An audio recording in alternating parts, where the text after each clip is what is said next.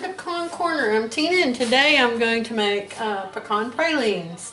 This is my, I'm going to use my mother's recipe and it's one that she got from a cookbook that my great grandmother had.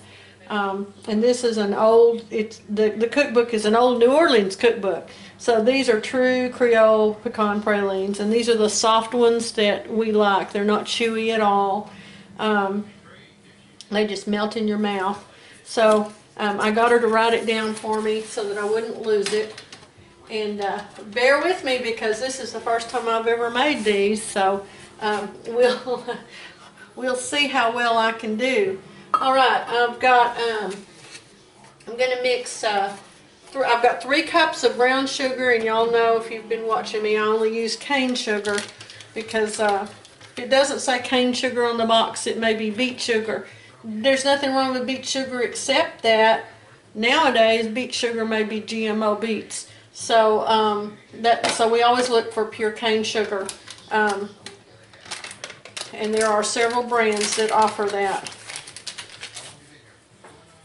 I've already made my um, my Martha Washingtons and just finished the last batch of them. So you can see my little my little chocolate pot sitting over here cooling off while there's a little chocolate left in there. I'm trying to decide whether I want to uh, dip something in it or, or just melt it back into a, a container and, and, put it in the freezer until I need it again.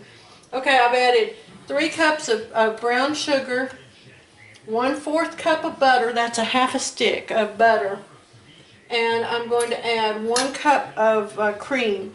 And this is heavy whipping cream. You can also use half, she's got a note here that says half and half works just fine one carton of whipping cream equals one cup. I have a real problem finding whipping cream that does not have uh, monodiglycerides, polysorbate 80, and carrageenan in it um, anymore. I don't know what's happened. I can buy sour cream that doesn't have additives, but I can't buy buttermilk that doesn't have additives. I can buy milk that doesn't have additives, but not cream. So I don't know what's going on there. I'm, I'm still looking for a for a good source of pure whipping cream that does not have extra junk in it. In the meantime, we use what we have. So, I have a full cup of cream, three cups of brown sugar, and a quarter cup of butter. And I'm going to uh, immediately start stirring this. I don't want to let my sugar ever melt on the bottom of a pan. Uh, if you dump it in there, whether you're making jelly or, or something like this, um, because it'll it'll harden on there and you'll never get it off. Um, so I keep it stirred. Now I'm going to uh, stir this and I'm going to bring it to what they call softball stage, which means when you drop a, a little dab of it into uh, uh, cold ice water, it'll turn into a soft ball. But I'm going to use my candy thermometer and uh, it's actually marked softball but if you're looking at the candy thermometer, the markings on it are really confusing. Um, it, it's hard for me to tell where those little things are. And so I've actually put used a Sharpie and, and put a mark on there where it'll make it easier for me to see. Um, I, I, had a failure um, the last time I tried made fudge. It's the first time I've had a failure with my fudge. And it's because I misread, um, I misread my candy thermometer. So I'm going to drop this down in here and uh, put the thermometer there in the bottom of it and just let it sit and cook. That's going to be a while, so I'll come back when I'm a little bit further along. I have to tell you, this, this last few seconds of waiting to try to get the uh, temperature up is um, almost as bad as, as going traveling. You know, when you're traveling somewhere and you uh, uh, or, or you're just nearly there. Okay, all right, now finally gotten it. Now then, um, turn my fire off because I don't want it to get any hotter. I'm set it off the stove. I need one eighth of a teaspoon of uh, ground cinnamon. So that's just going to be literally a dab like that. Um, measure it in advance if you if you want. And now I'm going to add a cup and a half of pecans. These are my little, these are some of my little natives that uh, we've been cracking and, and picking out. Uh, this is the tree I was telling you. I've got another video um, that you'll see where I'm gathering pecans, and it's where I'm gathering those these little native pecans, and, and they are tiny, but oh, they're so flavorful because they're full of um, they're full of oils. Um, okay, now I'm gonna. It says um, um, beat them until they're almost cold, and then drop by by spoonsful onto wax paper. So I've got my wax paper set over here, so I'm gonna stir these. Um, but the pecans are um, they were such an important food for uh, the primitive people when they lived here in the country um, before Europeans came. Um, um, uh, oh, what's his name? N- Núñez de Vaca. Is it de Vaca? Hold on, let me go get a thing I can see. I couldn't remember the man's name. His name is is Núñez Cabeza de Vaca, which means um, head of the cow, and he was shipwrecked um, in the uh, 1530-ish. Um, shipwrecked um, and, and walked across Texas and, and finally got back uh, down to Mexico City and, and got to go home to Spain. But he wrote um, his his uh, experiences, and it's a wonderful book. If you ignore the um, ignore the introduction and, and the modern footnotes that try to uh, uh, interpret what he wrote and just take him at face value, you'll get a much better sense of what life was really like uh, when Europeans came. He was the first European to come to Texas, and uh, and he was alone. So um, his experiences were really interesting. But what he mentions uh, pecans and uh, talks about the tribes that that. Uh, some of the tribes let, let him live with them, and some of them enslaved him. And but the ones that he was with at the time, they traveled. They had to travel different places to get their food because remember they didn't have the horse, so they didn't have any motor transportation other than their feet. So they while they did some hunting, um, mostly they were they were hunting. They were gathering uh, to try to stay alive, and it's hard to gather enough. Um, so. Plus, there was a huge amount of competition from other tribes, so it was a very brutal life.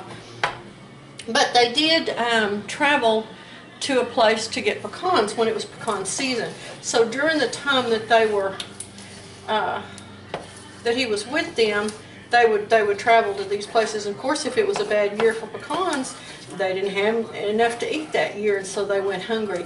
Um, so the pecans were extremely important crop um, for those peoples, and they remain so today. An old pecan tree, um, the older it gets, the better it bears. So if you're planning on doing any kind of homesteading, or even in your yard, if you want to provide for yourself, the best thing you can plant is a nut tree, whatever kind of nuts are native uh, to your area, because that gives you a huge source of calories uh, that are that are growing naturally without you having to do anything to them uh, to get them. The oils and uh, and the healthy uh, amino acids and, and uh, uh, such are are just so bountiful in, in these nut trees. So if you're thinking about what kinds of trees to plant on your property, um, you just can't go wrong with some kind of nut trees. So do keep that in mind. Okay, as you can see here, this is uh, starting to thicken up. So I'm going to start dropping it out by spoonfuls.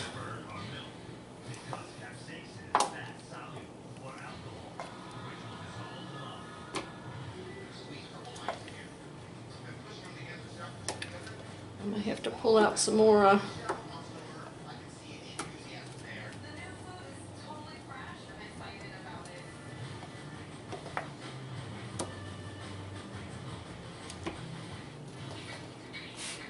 I'm gonna have to pull out some more wax paper real quick. I'm making these. Our farmers market is having a holiday market uh, this week, so um, I'm making these to take to that.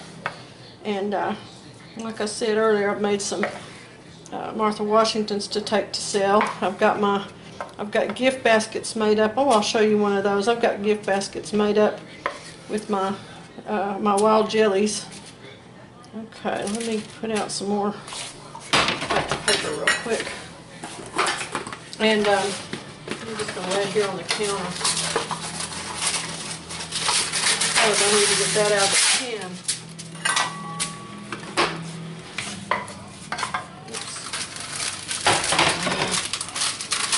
See what I mean about having things ready? It's real important when you're making candy or making jellies to have everything ready in advance. I'll get that one.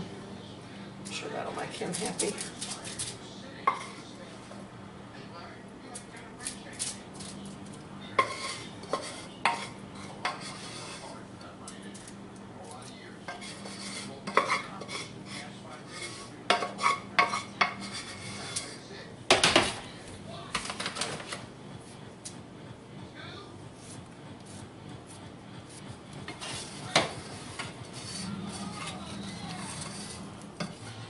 Yeah, these have got a perfect texture. It's going to be great.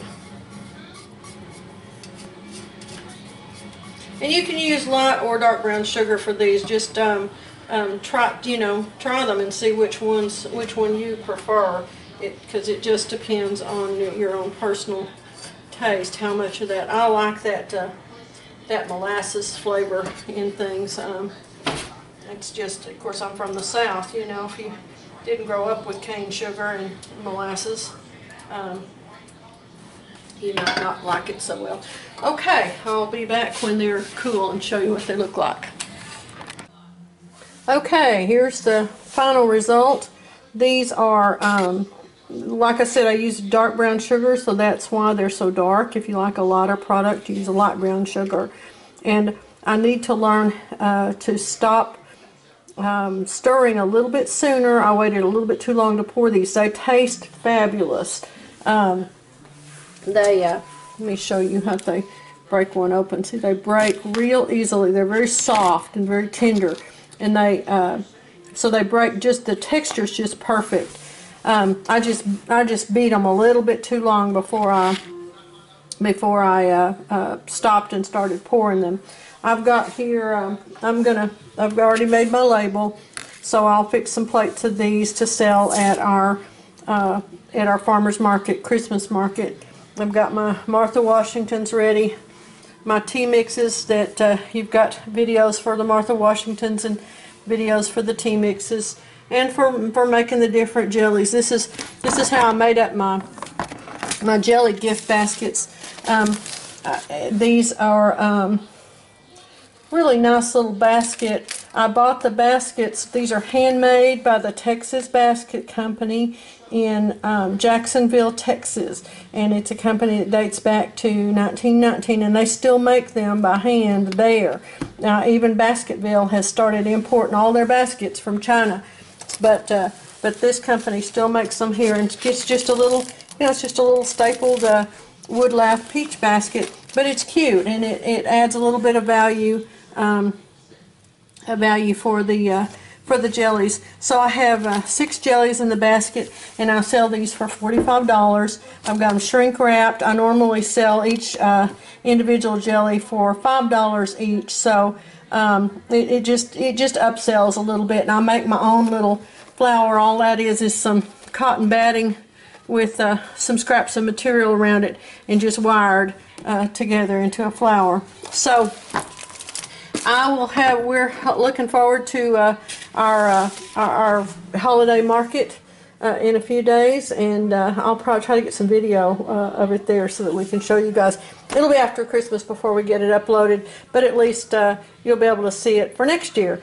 Um, all right, you guys take care and thanks a bunch and I hope you'll enjoy my mother's Creole pecan pralines. Thanks.